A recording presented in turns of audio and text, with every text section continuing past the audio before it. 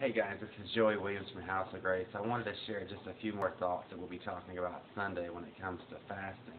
Uh, first of all, we need to all know and understand that fasting is biblical. That means it's in the Bible.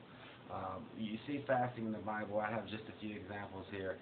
It's actually mentioned 69 times, but just a few examples. On Joel chapter 2, we're going to read that and talk about that and see that a fast can actually be called there can be a called fast. It's kind of like an official fast uh, where everyone in that body or that family or that church or even a nation should be fasting together. That's in the Bible. In Joel chapter 2, uh, Moses fasted. You can read about that in Exodus 34. Elijah fasted. Ezra fasted. Daniel fasted. Uh, all these mighty men of God fasted. Uh, Anna fasted. In Luke chapter 2, Cornelius fasted. Uh, the disciples fasted in Acts uh, chapter 13. You can read about that. And of course, Jesus fasted.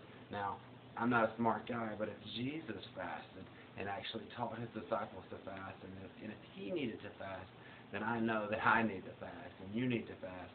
In fact, that's the last thing I wanted to share in this video is that fasting is actually normal Christianity. I know many of us Christians, we don't fast enough. We don't pray enough. There's a lot of things we don't do enough. That doesn't mean we should be satisfied with that we should always be wanting to do more and grow further and deeper with God. And what's going to get us there is these spiritual disciplines. And one of those disciplines is fasting. Fasting is normal Christianity. I dare you to say it out loud. Fasting is normal Christianity. It's not just for super giant Christians and super generals of the faith. We should all be fasting. God will bless our obedience. God bless you. I hope this has been helpful to you.